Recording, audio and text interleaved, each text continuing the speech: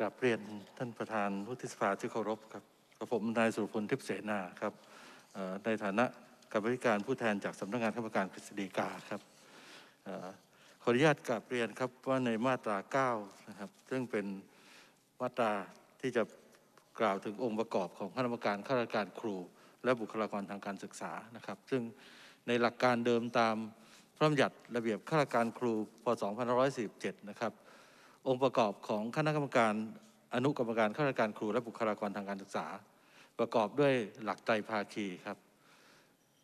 ส่วนแรกครับมาจากผู้แทนของส่วนราชการในกระทรวงศึกษาธิการนะครับ อย่างที่ท่านท่านศักชัยได้ได้กรุณานำเรียนนะครับ ส่วนที่สองมาจากผู้แทนครูและบุคลากรทางการศึกษาครับส่วนหนึ่งและส่วนที่สามคือมาจากผู้ทรงวุฒิซึ่งมีความรู้ความเชี่ยวชาญ ทางด้านการศึกษา ด้านการบริหารงานบุคคลและด้านกฎหมายนะครับ จะเห็นได้ว่าหลักไตรภาคีเดิมที่ในกฎหมายระเบียบข้าราชการครูและบุคลากรทางการศึกษากำหนดไว้แต่เดิมนั้นนะครับเป็นเรื่องของการบริหารงานบุคคล ซึ่งเป็นกิจการภายในนะครับ ตรงนี้จึงเป็นเรื่องที่เกี่ยวกับการดำเนินการของสำนักงานคณะกรรมการการศึกษาขั้นพื้นฐาน และ เขตพื้นที่การศึกษานะครับและในส่วนที่เดิมที่มีการแต่งตั้งนะครับ ตรงนี้กำหนดไว้ในกฎหมาย แต่ว่าในมาตรา9นะครับที่เพิ่มขึ้นใหม่ในร่างพระบัญญัติฉบับนี้ ได้มีการกำหนดให้มีองค์ประกอบขึ้นมาทดแทนในคณะอนุกรรมการเดิม ซึ่งตรงนี้ผู้ที่จะเป็นผู้กำหนดนะรายละเอียดนะครับก็คือ ข้าราชการข้าราชการครูและบุคลากรทางการศึกษา ซึ่งมีรัฐมนตรีว่าการกระทรวงศึกษาเป็นประธานนะครับดังนั้นการที่ใน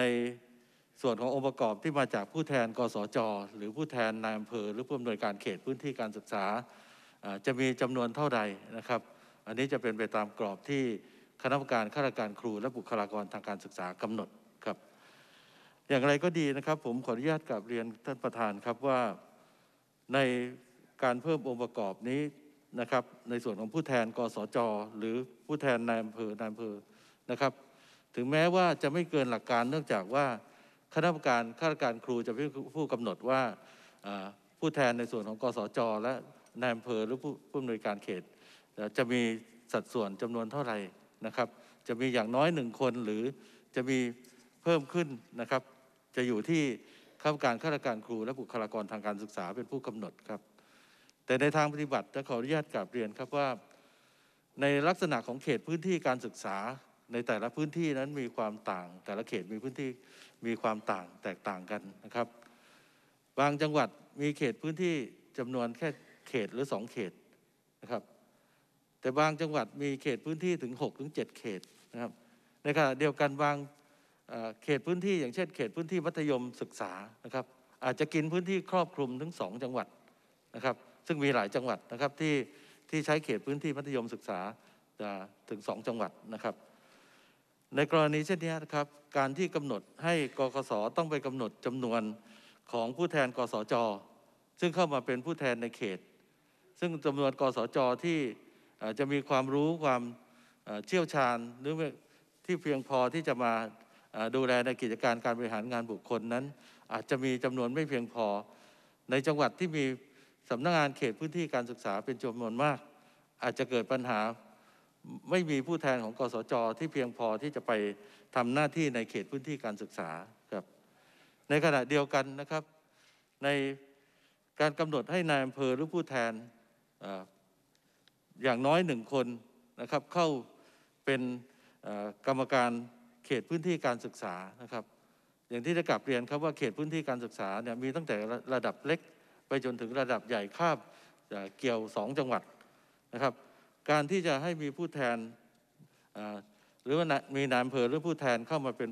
เป็นกรรมการนั้นนายอำเภอดังกล่าวที่เป็นกรรมการนั้นไม่สามารถเป็นผู้แทนให้กับอำเภออื่นๆได้นะครับ ในกรณีเช่นนี้นะครับ ก็อาจจะมีความจำเป็นที่จะต้องตั้งนายอำเภอเข้ามาเป็นจำนวนมาก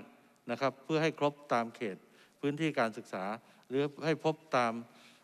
พื้นที่ที่นายอำเภอรับผิดชอบที่ดูแลเรื่องการศึกษานั้นอยู่นะครับ ตรงนี้ก็จะเป็นปัญหาในการที่จะไปกำหนดจำนวนองค์ประกอบของนายอำเภอหรือผู้ผู้แทนกสจครับวันนี้ผมขออนุญาตกราบเรียนครับว่าอันนี้ อาจจะมีปัญหาในทางปฏิบัติของของกคสในการที่จะ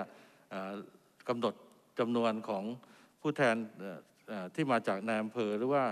มาจากผู้อำนวยการเขตพื้นที่การศึกษารวมทั้งผู้แทนของกสจด้วยครับขออนุญาตกลับเรียนครับ